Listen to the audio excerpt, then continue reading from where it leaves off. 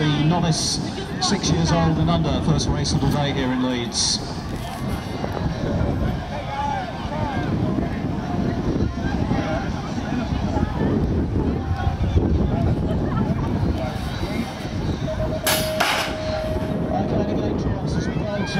number one coming down the hill for the first time.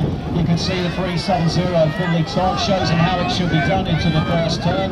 Sam Lister is the rider who makes his way first straight into turn number one. He goes into that second place on his higher around the first berm. I've got a long, long way to go, very long track here in Leeds. And obviously for these little guys with very short legs, this is going to be hard work when you've done four races throughout your whole day. Anyway, heading into berm two, it's making it look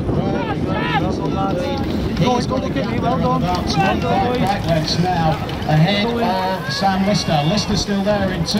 The guy holding on in three is Louis Hinchcliffe, but he's got pressure coming already from Dave Fitch. Fitch is there as well. It looks like it's going to be tough who gets the win out of the third turn.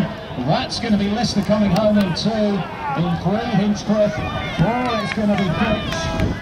And back in five, Olivia Mather goes by me there. There's Olivia, the lady in the red. Well, it's about a well away to the end. Willie Dane can pull it back. Not quite.